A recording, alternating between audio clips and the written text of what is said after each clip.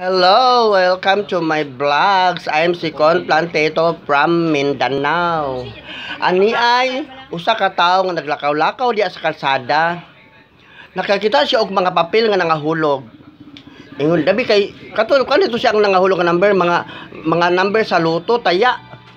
Nag-ingon din ang katuang na- nag-ingon din to ang katong tawo nga paghangad niya kay nakakita man siya kapri man di ang nahulog atong mga number. Nangin dito ang ingin dito ang kanang tao nga hearing ni ibutang dito nga one week maintain.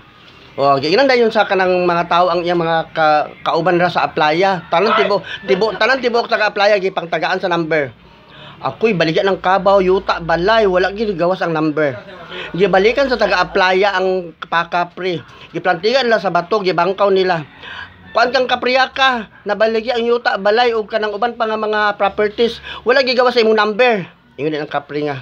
Wala mo to na gihatag sa inyo. Ako itong gilabay kay pusoy sad ko. Wala mo dito niya gihatag. Yan ito kipanlabay kay pusoy sad siya. ang mga taga-applya nakapusoy na. Gitayan. Handod karon, gitayan nilang tataog dito di ang number la kaya pun gigawas.